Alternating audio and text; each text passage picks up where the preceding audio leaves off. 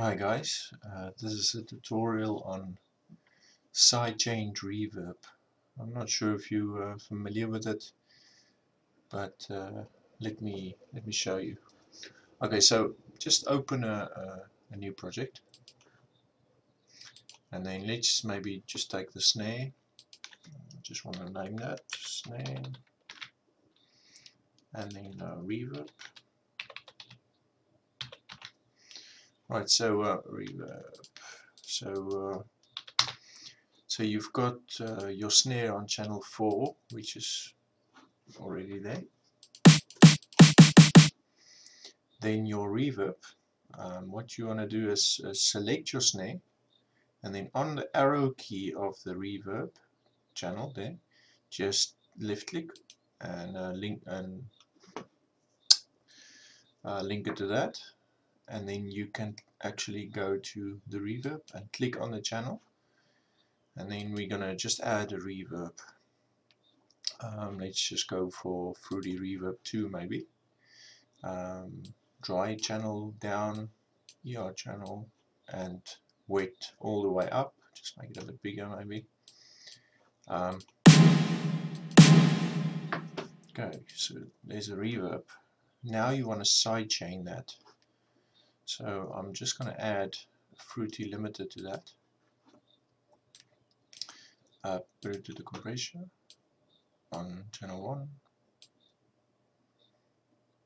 Then that almost all the way down.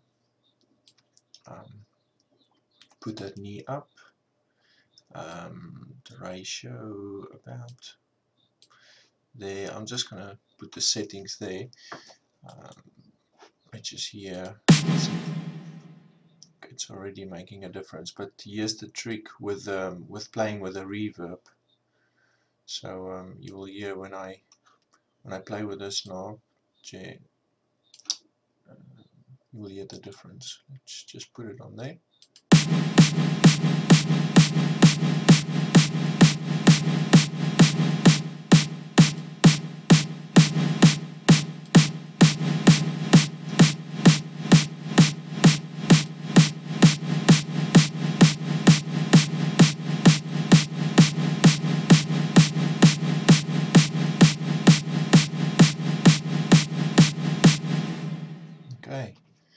so um, you can also do that with any other instruments, maybe for uh, synth stabs or something similar.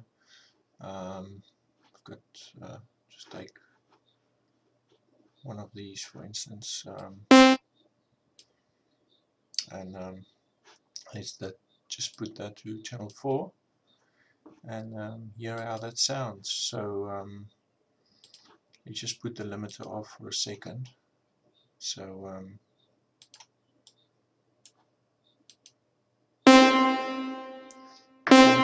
it's only with uh, that's the raw sound. Now let's let's just put the um, reverb on. And then the limiter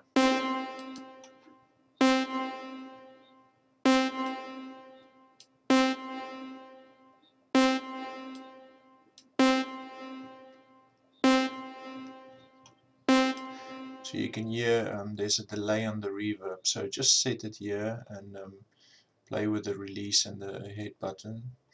And um, yeah till till you get the sound that you are looking for. Um, hope you enjoyed it. Please subscribe and um, yeah see you on the next tutorial maybe. Thanks